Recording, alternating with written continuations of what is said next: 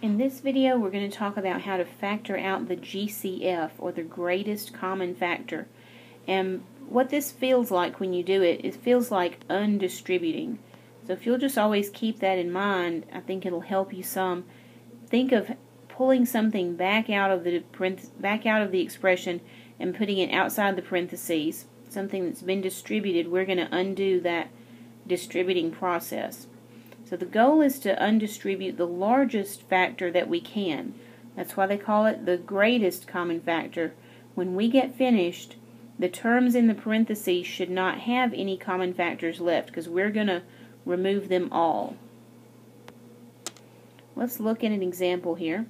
So I've got 5x squared plus 30. Notice that both of these numbers are multiples of 5. So that means it looks like a 5 has been distributed through here. I could undistribute that 5. And that would mean I would need two terms inside a pair of parentheses. So 5 times something would have to make x squared. So that would be 5x squared. And then for my second term, 5 times this would have to make 30.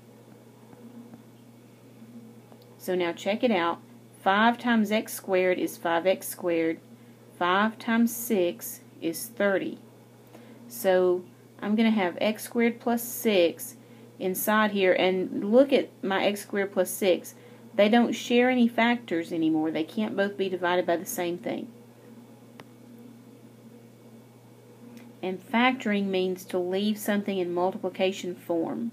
So um, always when we factor we're trying to take something apart and write it where it looks like a multiplication problem. Alright, here is 18x to the third plus 27x squared. If you look uh, at the two coefficients, I have 18 and 27, which can both be divided by 9. But now this has a third power of x, and this has a second power of x. That means they both, they share a factor of x to the second because this one has x to the second plus an extra x.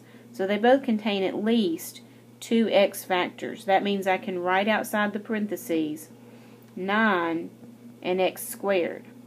Now inside the parentheses I'll have to have two terms. 9 times something has to make 18, so that'll be 2. And x squared times something has to make x to the third, so that will be x. For my second term, 9 times something has to make 27, so that will be 3. And x squared times something has to be x squared. So that would be 1, but there's no need to write times 1 here because that's just silly. So now check it out. If I do 9x squared times 2x, I get 18x to the third. And 9x squared times 3, I get 27x squared. Also, look at my 2x plus 3. They don't share any factors. They don't both have an x. They can't both be divided by 2. They can't both be divided by 3. So these are now completely different from each other. And that's how we know that we've factored correctly. Because if I distribute 9x squared, I can get back to the original problem. And the, the terms inside the parentheses do not share any factors. Let's look at that same problem again. But what if you didn't realize that 9 would go into both of these? What if you just thought 3 would do it? And what if you didn't realize that you could get x squared? What if you only thought you could have x? So we'll take a look at that. If I try to undistribute 3x, well, 3 times 6 is 18, and x times x to the second would give us x to the third. And then here, 3 times 9 makes 27, and x times x makes x to the second. Okay, so now look at inside our parentheses. I have 6 and 9. Well, that's a problem because 6 and 9 can both be divided by 3. Therefore, I did not get the largest possible number outside the parentheses. And look at the x's. I have x to the second power here and x to the first power here. They both still have a common factor of x. That means the x power I put out here was not large enough. So when you get finished, there should not be anything that they have in common. So now here's a tip.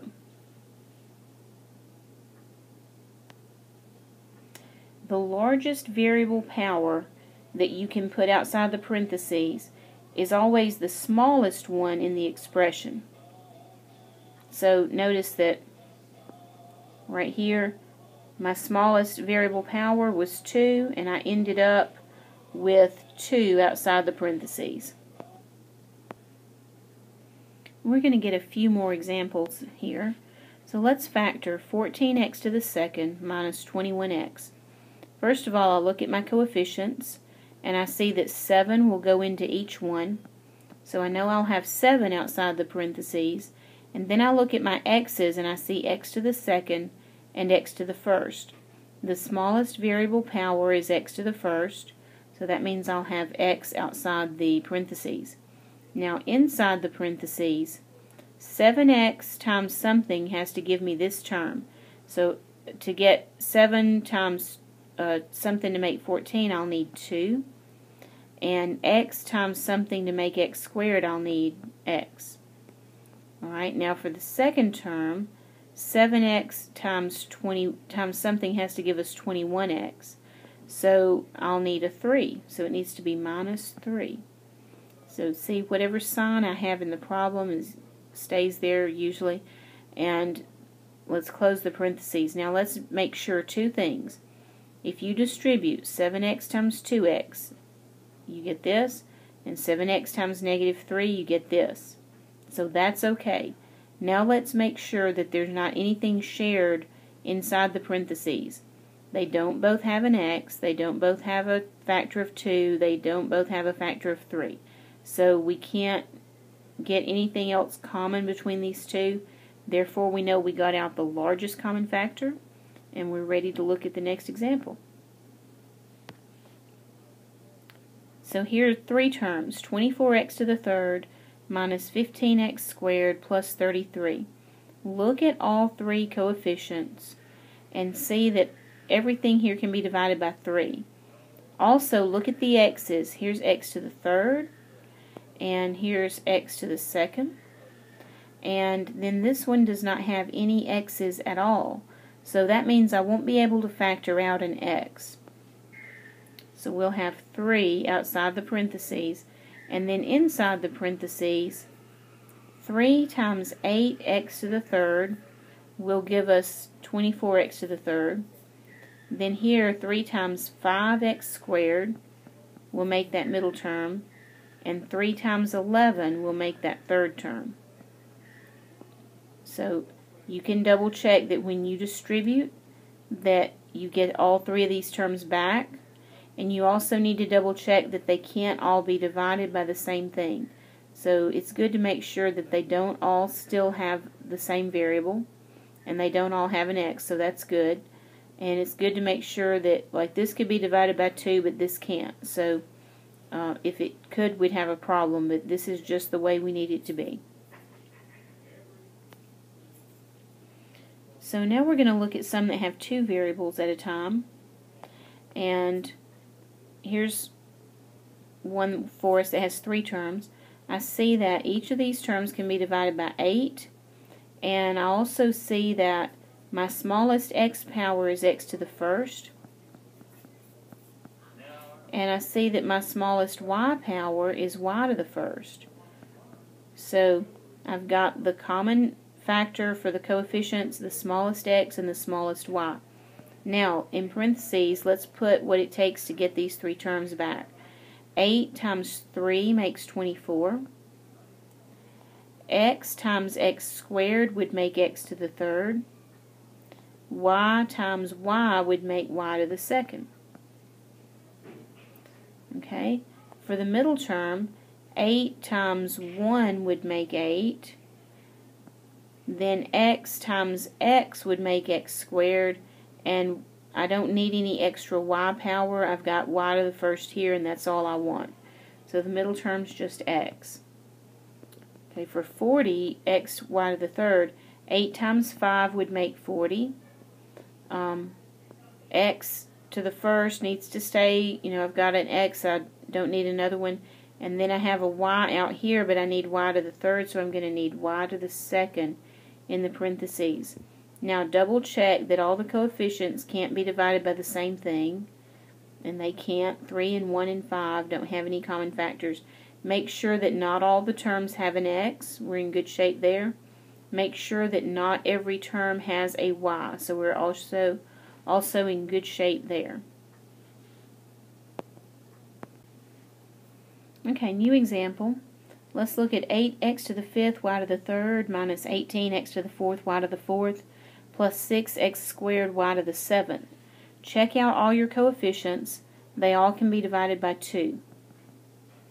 Check out your smallest x power. It is x to the second. And find your smallest y power. It is y to the third. That's what goes on the outside of the parentheses. Now inside the parentheses, 2 times 4 makes 8. So let's get a 4. X to the third times x squared makes x to the fifth. So we'll put x to the third. y to the third times 1 makes y to the third, but there's no need to write times 1 here. So that's all we need for plus for the uh, first term. Now for the middle term, it's going to be minus. 2 times 9 makes 18 x squared times x squared makes x to the fourth, and y to the third times y makes y to the fourth. Okay, for the next term, 2 times 3 makes 6. x squared times 1 makes x squared, so no need to write times 1. y to the third times y to the fourth makes y to the seventh. So we'll have y to the fourth here. Now make sure that you don't have any common factors between them and make sure that they don't all have an x and make sure that they don't all have a y because those would be common factors as well. Okay, so now just a couple of ways you'll know that you've done it correctly. We've been talking about these, but just so you have it in writing if you can distribute and get back your original expression, you know that you've got a good factor outside the parentheses. And if you look at the terms that are inside and make sure that they don't have any common factors, then that's also a good sign. You need to check both of these things off before you know you've done it right.